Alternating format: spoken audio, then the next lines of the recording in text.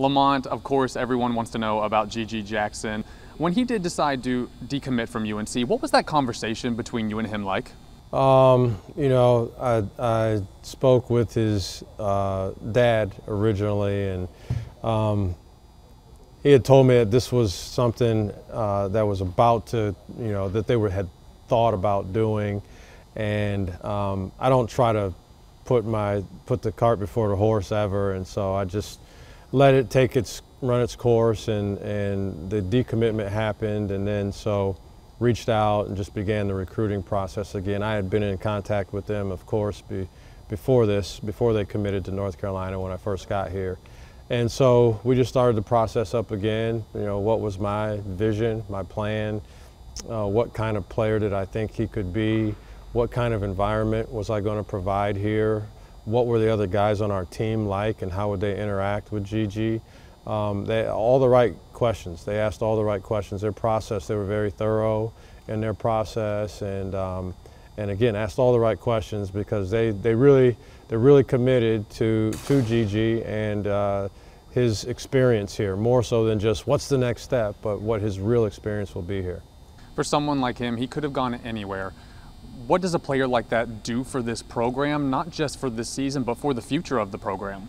I think from a recruiting standpoint, um, it normalizes the, the, the idea of a player of that caliber coming to this university and playing basketball uh, in our program. So I think that's very important. Kids have always been impressionable, I think now more so than ever. And so uh, I think just the fact that he's here, and, and he's a dynamic personality um, within that uh, arena as well really, really talented players, I find, my, I find them watching him in the summertime, and, and, and, and they're really talented in their own right, but they're still wondering and concerned about what GG Jackson's doing. And so uh, a lot of that is his game, but more of it is, I think, his personality. Very, very captivating young man if you get a chance to spend some time with him. But anyway, I think it has an impression on, on other talented players, local players in particular, but even on a national level. What does he bring to the court that is so game changing?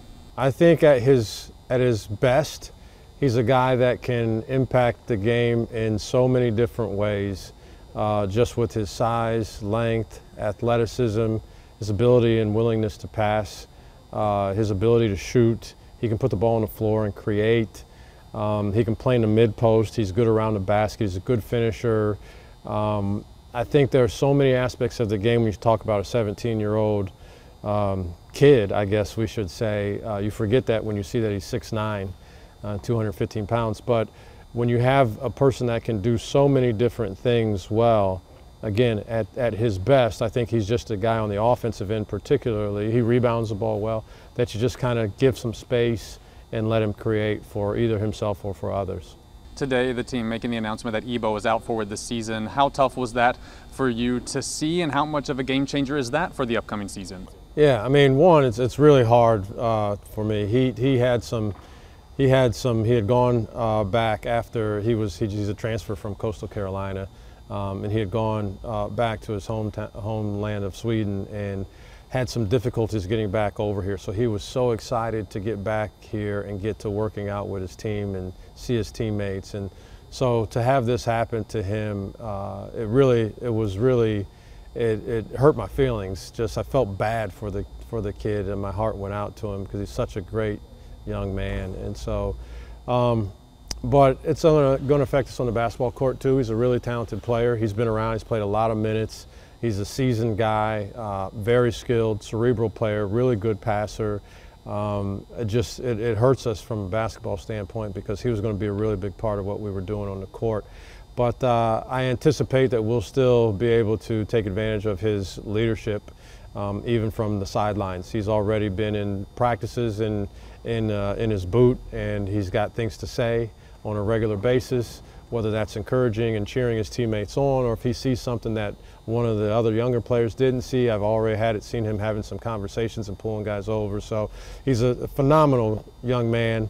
Um, he'll attack this uh, with his with positivity as well as anybody I've ever seen have an injury like this. It's a serious injury, but if anybody was going to come back and be in full form, it would be this guy. Dawn Staley has been so publicly supportive of you. Obviously, we all know how accomplished she is. What's been her biggest and best piece of advice she's given you since you've been here?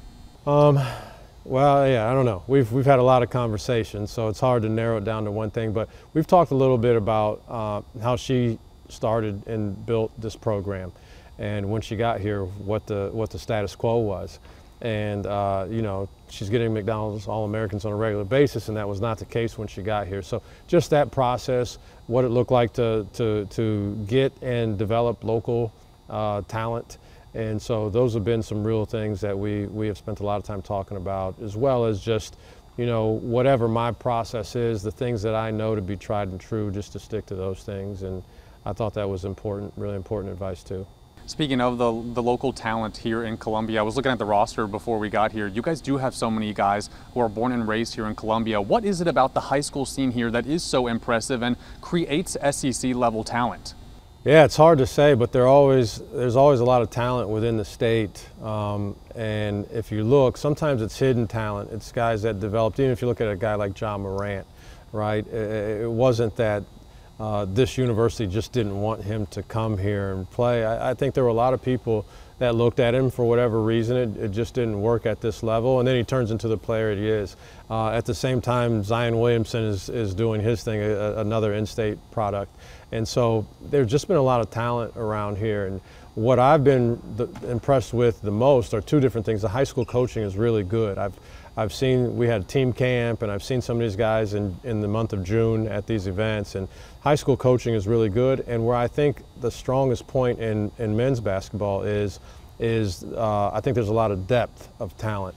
So while there are the G.G. Jacksons and the Zion Williamsons uh, of the world, then you also have a lot of guys that are the next tier of player, which is a very, very, very important uh, part of, de of developing a winning team.